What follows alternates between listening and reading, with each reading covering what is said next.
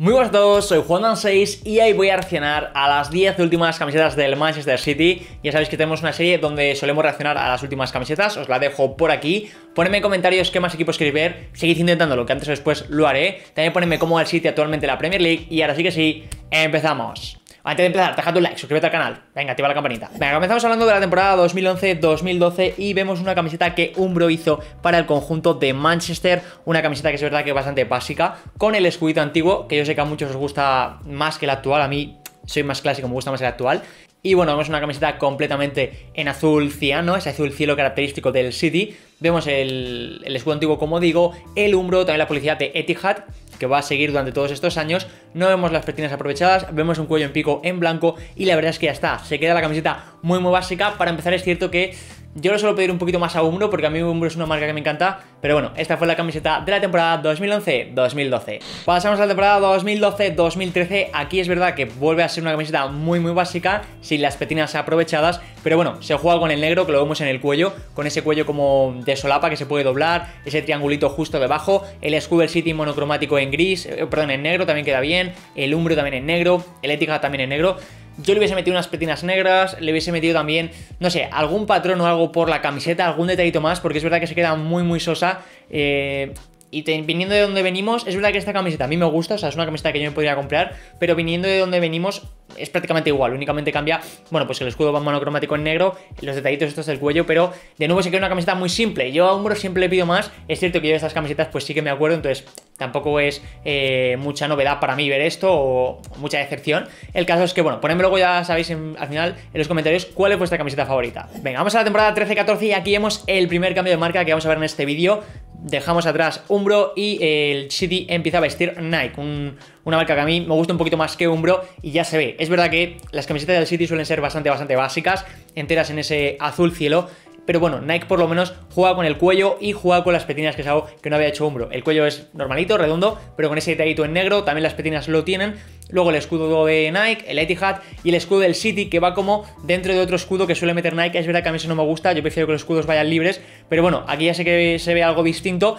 Es cierto que la camiseta sigue siendo muy muy básica, pero con el rollo de las petinas, el rollo del cuello, algo mejora. Temporada 14-15, a mí personalmente esta me gusta menos que la anterior. Nike sigue metiendo al del City como un reborde, cosa que no me gusta nada. Y aquí, bueno, vemos un cuello distinto, que va también en negro, ¿no? Con detalles en negro, y unas petinas demasiado, demasiado grandes también en negro. Luego vemos el escudo de Nike en negro también y el Etihad de nuevo se queda muy sosa. Es que estas camisetas se quedan bastante aburridas, porque si por lo que sea el City vistiese Adidas, eh, pues con las tres rayas o con las rayas en los costados, algo mejoraría, pero claro, siendo Nike, siendo Umbro en el otro caso, eh, la camiseta es entera azul. Es verdad que Nike está jugando un poquito más con el cuello, con las petinas, pero aún así a mí me quedan camisetas un poquito sosas. Temporada 15-16, aquí parece que, Nike decía apostar por el blanco en lugar de por el negro. Es cierto que yo en los últimos años sí que lo asocio más el City a, eh, bueno, el azul cian, evidentemente, y luego el blanco más que el negro, pero bueno, Umbro ya lo había usado, Nike también, pero ya a partir yo creo de esta temporada, esta temporada 15-16, pues empieza a utilizar el blanco como secundario,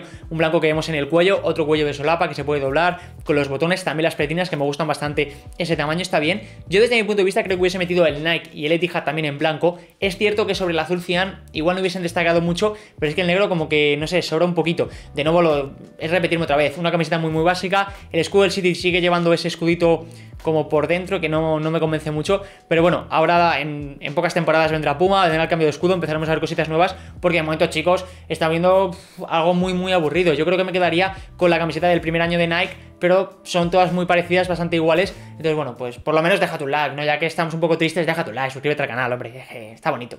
Y ahora pasamos a la temporada 16-17 y esto es lo que decía. Aquí sí que ya por fin vemos un cambio bastante, bastante grande.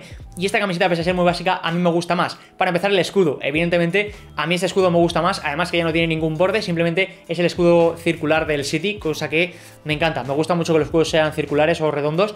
Es verdad que últimamente están muy de moda, pero es que a mí me gusta. Lo que no me gusta tanto es ese cuello, bastante, bastante Y lo que sí que me mola un poco más es que las mangas vayan enteras de un color porque ya le da algo distinto a la camiseta. Es cierto que se queda muy básica, es cierto que es una camiseta que cuando vi en su momento dije, madre mía, es muy, muy básico esto, ¿por qué narices han hecho una camiseta tan básica? Luego te vas a dar cuenta de que los siguientes años no es tan tan básica y viendo la evolución casi que es la mejor para mí, hasta ahora, ¿eh? O sea, luego ya veremos mejores. Es verdad que el Etihad y el Nike creo que ya no van en negro, sino que es un tono un poquito menos, menos oscuro que el negro. Y bueno, es una camiseta que, como digo, a mí el cuello no me gusta, pero el tema de las mangas sí, el nuevo escudo también, y por eso esta de momento es la que más me está gustando. Y es que ahora volvemos otra vez a lo simple. Esta yo creo que es la más simple de todas. No me gusta nada esta camiseta. Al final no hay pretinas aprovechadas, el cuello, sin más el azul y ya está. Es que no tiene nada más. Es el Nike, el Etihad. O sea, es una camiseta genérica que podría llevar cualquier equipo. O sea, cualquier equipo. Como esta camiseta no tiene nada, no representa para nada lo que es el Manchester City. Cualquier equipo. De hecho, es que bueno, si nos ponemos a ver, que lo veremos alguna vez, la evolución de las camisetas del New York City o de Melbourne City o de esto, sobre todo el New York City es el que yo más he visto, son prácticamente iguales. Porque como usan el mismo color y ni Adidas ni Nike están innovando mucho con estos equipos, pues se quedan camisetas muy muy aburridas. Esta la verdad es que poco hay que comentar, no tiene nada, ni cuello, ni pretinas, ni nada, simplemente camiseta azul, escudo del City, Nike, la publicidad y a correr. Temporada 18-19 prácticamente es la misma camiseta, chicos. Si os dais cuenta, lo único que cambia es que bueno, el cuello es un poquito distinto, tiene ahí un botón y luego, bueno, pues que las mangas van un poco aprovechadas con ese estilo rayajo que le metió el City, cosa que a mí me gustaba, perdón, el Nike, cosa que a mí me gusta bastante, lo hemos visto ahora en el City y en muchos más equipos. Está mal, pero sigue siendo muy soso, sigue siendo muy aburrido. Creo que, que Nike es una de las marcas que más innova, sobre todo en las terceras equipaciones, aunque también lo vemos a veces en las primeras, en las primeras podría haber hecho mucho más. Y no sé, yo creo que el City eh, al final es verdad que es un equipo que ha estado muchos años eh, en la Premier, que ha estado también muchos años en el fútbol profesional inglés, no solo en la Premier, o sea, tiene historia el City pero es cierto que ha empezado a ganar títulos y ha empezado a ser mucho más conocido al público general en estos últimos años. O sea que dentro de lo que cabe para el público general es un, es un equipo joven. Entonces yo creo que con este tipo de equipos, pese a que bueno, el City en este caso sí que tiene mucha historia, Nike u otras marcas podrían jugar más. Es como el PSG, es un equipo que tampoco tiene muchísima historia, y este sí que es más eh, reciente porque creo que es del 70. Yo creo que tipo Leipzig, por ejemplo, también los equipos jóvenes, como que las marcas pueden innovar más, no se, pueden, no se tienen que pillar tanto los dedos a la hora de hacer los diseños, porque tampoco tienen tanta historia y lo que mola es jugar. Eh, yo creo que, bueno, Nike no lo suele hacer mucho con el Leipzig, a excepción alguna camiseta, con el PSG ya lo vimos que tampoco suele hacer mucho, y en este caso con el CD, chicos, mm, me está decepcionando bastante. Y yo, es verdad que ya lo conocía, pero ahora, claro, te pones a ver todas al tirón y es que no hay ninguna que llame la atención. O sea, son todas iguales. Así que nada, bueno, pues esta camiseta eh, de las últimas de Nike con el City y pasó bastante desapercibida. De hecho, es que efectivamente era la última camiseta de Nike con el City y en la temporada 19-20 entró Puma, segundo cambio de marca que vemos en este vídeo.